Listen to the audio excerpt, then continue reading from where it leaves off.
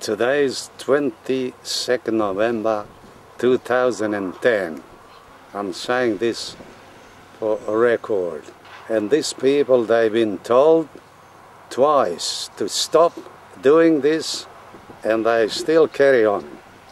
And this is second crusher. They just brought it back after they've been told not to do this sort of work close to the houses.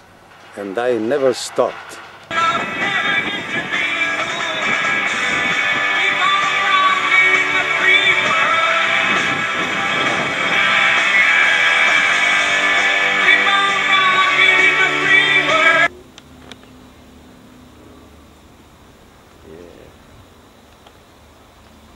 to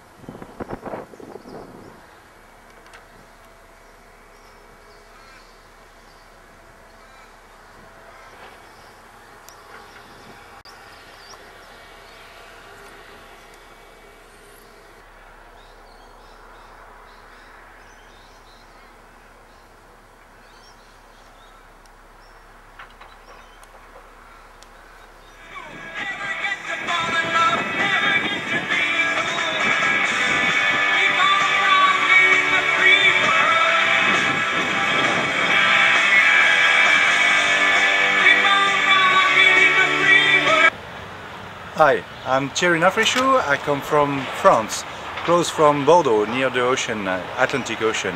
So uh, I've been, uh, like you can hear, it's long, long, too much noise here. Uh, I've been here since uh, uh, 20 years ago to visiting one of the good friends here in Wattleup. And used to be here just all was green and plenty of vegetable, plenty of full of nature, I used to say. And now uh, that's what's happened just next door from my friend's house. How is can it be possible? It's just full of uh, trucks, full of noise, full of everything, and we just live just next door. It's you can't sleep at after six o'clock in the morning because it's just plenty of noise. It's incredible. No one can live like this. Uh, here can't happen in France for sure, or they have a big argument. So um, it's a shame because we think French. Australia is the most green country with all the kangaroos, koala or rainforest you, you can add. And it's the best ever country for nature. And that's what's happening.